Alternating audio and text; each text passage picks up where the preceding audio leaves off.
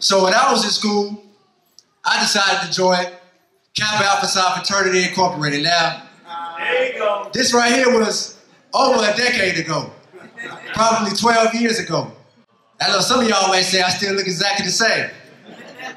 And not only did I participate in the hazing process, but I also pledged people. I was what you call the DP. That's me right there. And DP, if you don't know what that is, that's the Dean of Pledges. So that means that you're primarily responsible for bringing over an entire line. But you know, as time passed on, I graduated, and one day I ran across a book. And I looked at the cover of the book because somebody had mentioned it to me while I was in school, but you know, I just blew them off.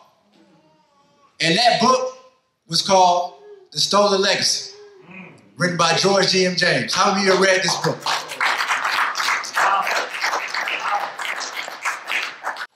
And then I started to realize that with the knowledge that I gained from this book, because when I read something, I don't just do what some people, some people read information or they come across information, and even though they know it's true, they discard it and keep doing what they normally do.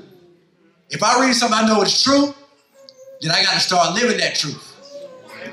So I started to wonder how is it that African people can go to college, as Dr. Bruce Bridges would say, can be enrolled as an African, but graduate as a Greek.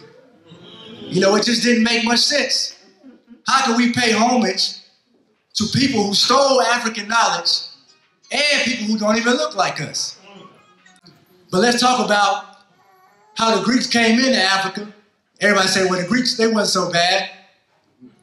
Let's go to the period that was called the Hellenistic period. So you call yourself the Pan-Hellenic Council, but the Hellenistic period was the worst period for African people because it's during this period when Alexander came into Africa, 332 BC, and conquered Egypt. It was Alexander who took over, and this is where you start to see the turning point from the power that Africans had in ruling the world that they had ruled since we've been for over 250,000 years. This is only 2,000 some odd years ago. Now, people want to say that the Greeks were black, but this right here is a statue of Alexander that they made of him during this time period. That's in the Cairo Museum. We can clearly see that this is a European right here. When the Greeks came in, they came in the same way they always come in. They came in as mercenaries trying to help us fight off the Persians. But then they turned their back on the Africans. Because when they came in, they saw the knowledge that African people had. So they went through and they stole the scrolls from all the different temples down in the south, down in Ipet Sut, Ipet Sut, down in Luxor, or Waset.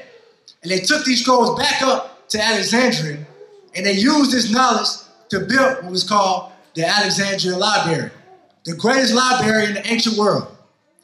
This is where the rape of African knowledge and the rape of the African mind first took place. It didn't take place on the slave plantation. And they used this knowledge to build themselves up and to start their own civilization.